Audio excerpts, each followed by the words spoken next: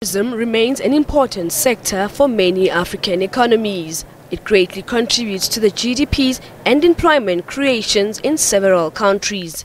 According to the World Travel and Tourism Council, in 2017, tourism contributed 10.4% of the world's GDP. It also accounted for 235 million jobs, or one in every 10 jobs worldwide. However, most African countries still face significant challenges and constraints in exploiting the potential of tourism services in trade and economic development. The Zimbabwean government has already cited tourism as one of its key economic drivers after agriculture and mining. The new dispensation recognizes tourism as one of the critical economic drivers.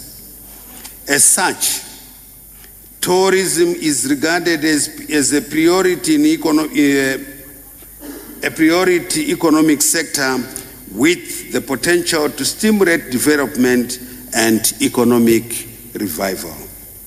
In this regard, a 15 million tourism support facility has been established through the Reserve Bank of Zimbabwe to support emerging and existing tourism businesses.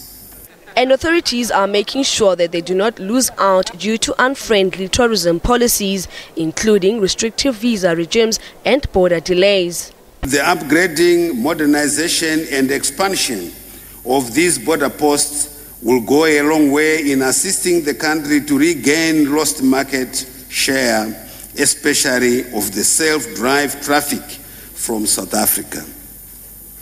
Noting that South Africa is our biggest market, I challenge the tourism and hospitality industry to increase tourist arrivals from South Africa from about 700, uh, 716,000 in, in 2017 to surpass the over 1.6 million visitors registered in two, uh, 2006 by year 2023.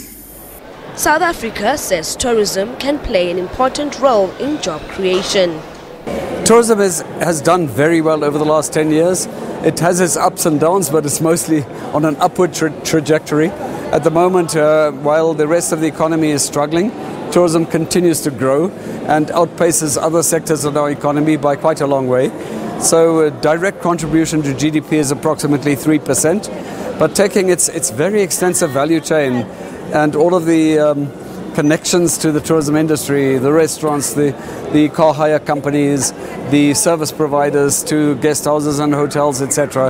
Uh, it has a very extensive value chain. So across the value chain, probably about a 9% contribution to GDP.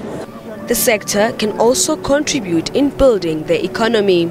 As tourism grows between our countries, uh, both the flow of tourists from South Africa to Zimbabwe and from Zimbabwe to South Africa, and us jointly attracting tourists from elsewhere in the world, uh, by definition, we, we, we both get benefit out of it. Uh, and the benefits in tourism are, are enormous. It's a very employment intensive industry. So, as we get growing numbers of tourists, as tourism grows as a sector, jobs follow, opportunities follow. So, the, the, the, the benefits follow automatically. The Zimbabwe Tourism Expo ends today. 1041